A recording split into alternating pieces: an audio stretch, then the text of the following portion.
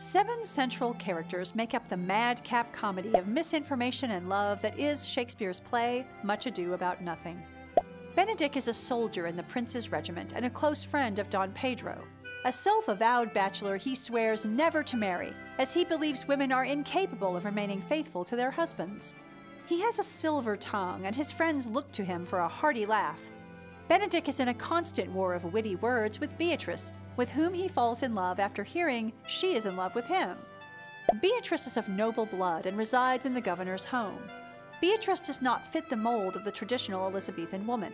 Opinionated, outspoken, stubborn, independent, and full of wit, she declares herself averse to love. In the past, Benedick broke Beatrice's heart, but by the play's end, the two love each other again.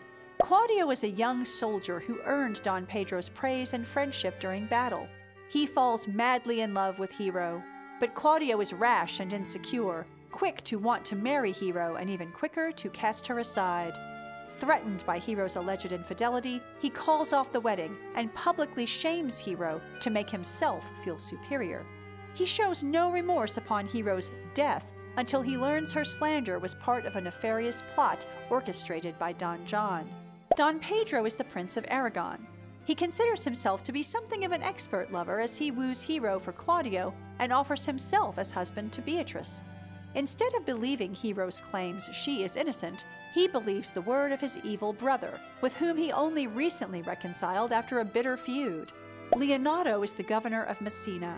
Although Don Pedro does not rule Messina, Leonato often defers to him out of respect for his title and his status as a guest. When Hero's virtue is called into question, Leonato breaks with social norms and supports the word of his daughter, a woman, rather than that of the high ranking prince. He is more loyal to family than he is to power. Don John, sometimes called the bastard because he was the product of an illegitimate relationship, is Don Pedro's half brother. Though the two have ended a feud, Don John knows he will never be as good as his brother the prince, so he becomes a self proclaimed villain. He relies on Borachio to come up with and execute the plan to prevent the wedding between Claudio and Hero. He skips town when the deed is done, the closest thing to admitting guilt.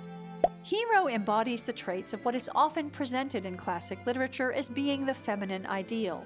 She is modest, reserved, chaste, and happy to defer to her father's guidance. Unable to prove her innocence when accused of having a romantic relationship with a man other than Claudio, she lets others take the lead in restoring her reputation. Hero still wants to marry Claudio despite the shame he brings upon her which is a sign of both her forgiving nature and her acceptance of letting men run her life.